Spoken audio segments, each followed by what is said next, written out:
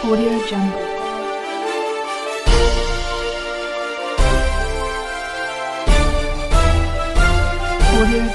नमस्कार, गोड्डा झार न्यूज़ में आप सबों का स्वागत है। आज की मुख्य बड़ी खबर।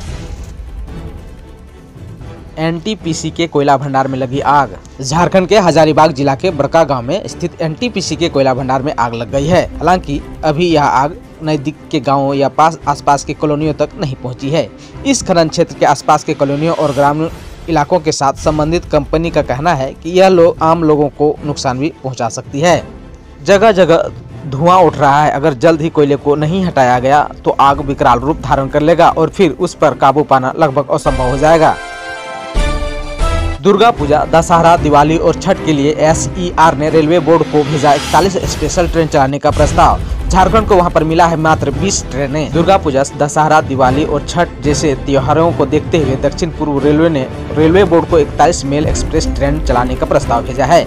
इन 41 ट्रेनों की सूची में झारखंड के तीन स्टेशनों से खुलने वाली कुल 20 ट्रेन शामिल है। झारखंड के उपचुनाव में दुमका से लुइस मरांडी का नाम और बेरमो से बाटुल रविंद्र पांडे का नाम चर्चा पर है। दुमका सीट के लिए छह दावेदारों और बेरमो सीट से 16 दावेदारों की सूची समिति के पास आई है। वहीं दुमका से लुइस मरांडी के नाम आगे चल रहा है। उधर बेरमो सीट पर पूर्व विधायक योगेंद्र प्रसाद बाटुल पूर्व सांसद रविंद्र पांडे के नाम पर गंभीरता से चर्चा हुई। दुमका से विमल मरांडी, डॉक्टर अंजलि मुर्मू का नाम भी आया है। तो तो बेरमो से एक नए नाम मृगांत शेखर पर भी चर्चा हुई है।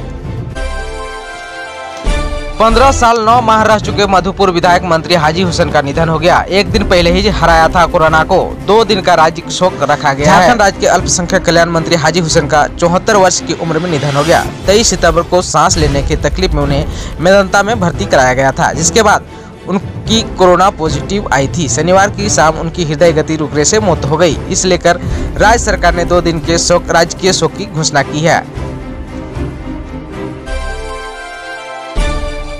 बंगाल की खाड़ी में कम दबाव का क्षेत्र होने के कारण झारखंड में बारिश और वज्रपात का अलर्ट जारी कर दिया है। मौसम विभाग ने बताया कि झारखंड की राजधानी रांची समेत आसपास के इलाके में आंशिक रूप से बादल छाए रहेंगे। झारखंड के अगले तीन दिनों तक बारिश और वज्रपात का अलर्ट जारी किया गया है।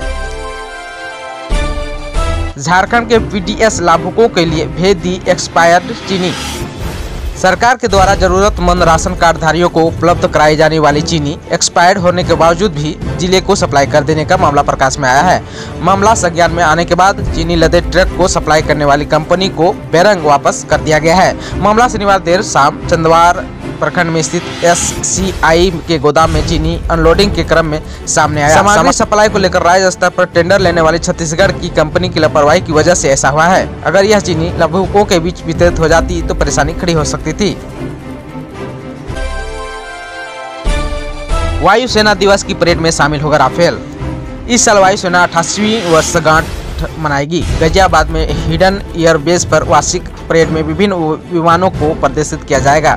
वायुसेना के एक अधिकारी ने बताया कि 8 अक्टूबर को वायुसेना दिवस की परेड में दूसरे विमानों के साथ ही राफेल विमान भी हिस्सा लेगा। एक्ट्रेस मिष्टी मुखर्जी का निधन हो गया। बंगाली और हिंदी फ़िल्मों में काम कर चुकी एक्ट्रेस मिष्टी मुखर्जी का निधन हो गया है। शुक्रवार को किडनी फेलियर का निधन हो गया। मीडिया रिपोर्ट के मुताबिक उनका अंतिम संस्कार शनिवार को कर दिया गया है। वहीं अचानक उनके निधन से उनके चाहने वाले सदमे में है। आपके खाते में क्यों नहीं आ रही है गैस सिलेंडर की सब्सिडी? क्या मोदी सरकार बंद कर दी है? गैस सिलेंडर की सब्सिडी। देश में अब आम चर्चा हो रही है कि मोदी सरकार घरेलू गैस पर सब्सिडी को खत्म करने जा रही है। जानकारी के मुताबिक मई 2020 से ही घरेलू एलपीजी गैस पर मिलने वाली सब्सिडी बैंक खाते में नहीं आ रही है। इसको लेकर लोग लगातार बैंक खाते में भी चेक कर रहे हैं। इसको लेकर आपको बता देते हैं कि बैंक खातों में अब गैस सिलेंडर पर मिलने वाली सब्सिडी क्यों नहीं आ रही है। दरअसल घरेलू गैस के दाम इतने कम हो गए हैं कि मई, जून, जुलाई, अगस्त और सितंबर में भी ग्राहकों को सब्सिडी नहीं मिली है। हालाँकि कुछ ग्राहकों को मात्र सत्ताईस रुपये सब्सिडी मिली है। सरकार द्वारा सब्सिडी में लगातार की गई कटौती से इस साल मई से ही सब्सिडी और बिना सब्सिडी वाले रसोई गैस सिलेंडर की कीमत एक सी हो गई है। सरकार सब्सिडी के रूप में सब्सिडी और बिना सब्सिडी वाले रसोई गैस सिलेंडर की कीमत में अंतर को देती है। जब दोनों की कीमत लगभग एक ही है तो सब्सिडी शून्य हो गई है। प्याज के दामों में मिलेगा थोड़ी राहत। अफ़गानिस्तान से बाघा के रास्ते भारत पहुँच रहा है ट्रक। प्याज की बड़ी कीमतों के बीच भारतीय आयातकों ने पड़ोसी देश अफ़गानिस्तान से प्याज मंगवाना शुरू कर दिया है। गत दिवस अफगानी प्याज के पाँच ट्रक अटारी सीमा पर इंटीग्रेटेड चेक पोस्ट पर पहुँचे। भारत में इन दिनों प्याज 40 रुपए प्रति किलो से ऊपर बिक रहा है, जबकि अफ़गानिस्तान का प्याज काफ़ी सस्ता है। शनिवार को पाकिस्तान के बाघा के रास्ते अफ़गानिस्तान से कुल सताईस ट्रक भारत पहुँचे। इनमें 22 ट्रक ड्राई फ्रूट और प्याज के पाँच ट्रक हैं। प्याज के चार ट्रक अमृतसर के आयातकों को, जबकि एक ट्रक दिल्ली के हैं। अफ़गानिस्तान से आने वाला प्याज 15 से 18 रुपये प्रति किलो के हिसाब से मंगवाया जा रहा है। कल आएँगे रिज़ल्ट जई एडवांस भारतीय प्रौद्योगिक संस्थान Delhi joint entrance exam advance के नतीजे कल यानी 5 अक्टूबर 2020 को अपनी आधिकारिक वेबसाइट पर घोषित करेगा। रिज़ल्ट जारी होने के बाद जई एडवांस 2020 की परीक्षा में भाग लेने वाले अभ्यर्थी जई की website JEE TV dot A C dot in पर अपने परीक्षा परिणाम देख सकेंगे। झारखंड के संताल आदिवासियों के शहद को राष्ट्रीय बाज़ार देगी, कहा अर्जुन मुंडा ने। पाकुड़ के संताल आदिवासियों द्वारा उत्पादित शहद को अब केंद्र सरकार बेचेगी। इससे शहद को राष्ट्रीय बाज़ार मिलेगा और इसका लाभ शहद उत्पादक संताल आदिवासियों को मिलेगा। केंद्रीय भारत जनजाति मामलों के मंत्री अर्जुन मुंडा ने पाकुड़ बन हनी ब्रांड को लॉन्च करते हुए ये बातें कही। अगर आप सोना खरीदना चाहते हैं तो सोना आप खरीद सकते हैं, क्योंकि यहाँ पर गिर रहा है सोने का भाव लगातार। यदि आप सोना खरीदने का मन बना रहे हैं तो यह आप, आपके लिए अच्छी खबर है। जी हाँ कोरोना वायरस के कारण दुनिया भर में आर्थिक मंदी छाई है। इसका असर सोने की कीमत पर नज़र आ रहा है। कमज़ोर व्यापार की वजह से लगातार सोने के दाम में बदल, बदलाव दिख रहा है। पिछले एक महीने की बात करें तो लगभग पाँच हज़ार रुपये तक सोने के दाम कमज़ोर हो चुके हैं। कमज़ोर व्यापार की वजह से सोने के दाम में गिरावट। कपड़ा के कारोबारी से ठगी में शिक्षक पर लगा इक्कीस लाख का जुर्माना। गोड्डा व्यवहार न्यायालय के मुख्य न्यायिक दंडाधिकारी संजय कुमार सिंह की अदालत ने कपड़ा कारोबारी से पंद्रह लाख की ठगी करने वाले शिक्षक पर इक्कीस लाख का जुर्माना व छह माह कारावास की सजा सुनाई है। जुर्माना की रकम चुकाने में विलम्ब करने पर चार माह की अतिरिक्त सजा का भी प्रावधान कोर्ट ने अपने फैसले में किया है।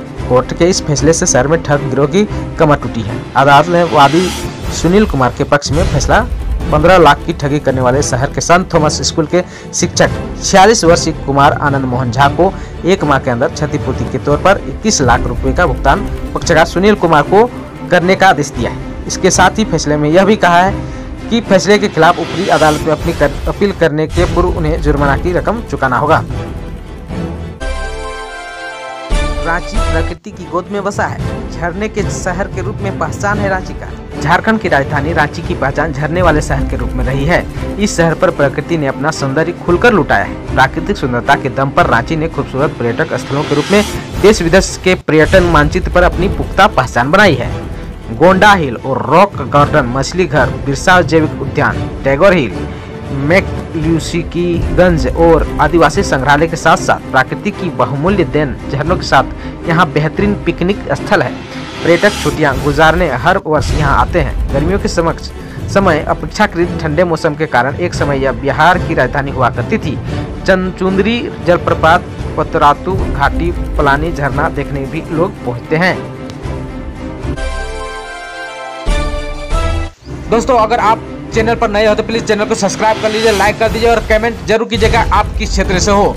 हम आपके क्षेत्र के समाचार को भी प्रस्तुत कर सकें। इसके साथ ही आज के समाचारों में बस इतना ही। दीजिए हमें इजाज़त। नमस्कार।